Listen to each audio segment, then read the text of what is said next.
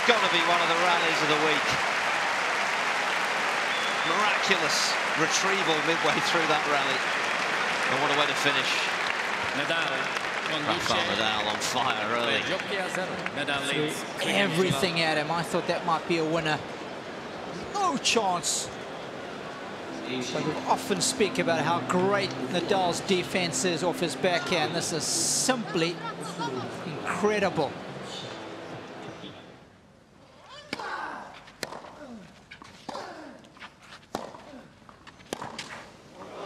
Get out of here! That's the way to break an eight-point losing streak. 15 Couldn't even get a fist pump out of Uncle Tony.